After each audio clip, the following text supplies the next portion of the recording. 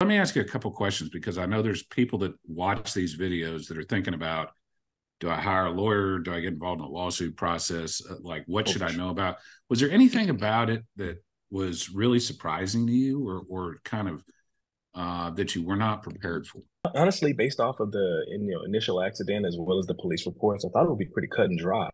Yeah. Um, but but there were a lot of little nuances that that shifted things, you know, from where the you know the county that we filed the case in that needed to change, and then yeah.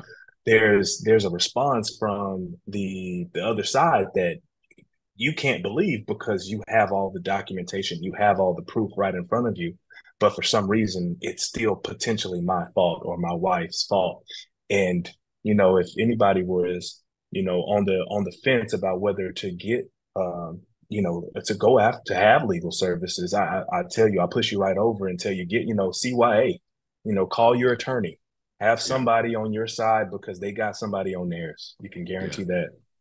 Truer words were never spoken. Well, I, I, I need to compliment you because, again, people will watch this video, and, and from a lawyer's perspective, I mean, you were an A plus client. Like you, you kept us informed of what was going on, and so did your wife you went to your physical therapy. You were serious about your recovery. Uh, you didn't sit around all day and eat cheetos and watch oprah during i mean seriously yeah. when we had a question for you you were responsive.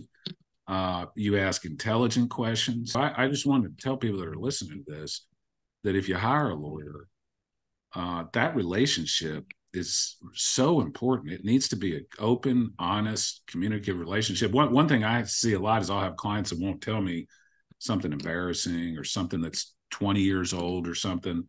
And i'll be like man you, first of all anything you tell me is confidential. Second of all if i know about it i can potentially do something about it. But if i don't know about it it's a problem. So i just wanted to say man it was and please tell elizabeth too it was an absolute pleasure represent you guys not only because you were you were great clients but also because you're great great folks. So uh, same thank you, you, man. Same to the team. No, appreciate yeah. you. Thank you to Patty. Thank you to Brandon. Uh, you know, thank you to everybody that that helped us along the way here. I mean, to be honest, the transparency, the communication is a big deal. I just hope you guys continue that forward uh, because that honestly, this this would this took a, a long time, and without you guys talking to us about this stuff, we wouldn't know why.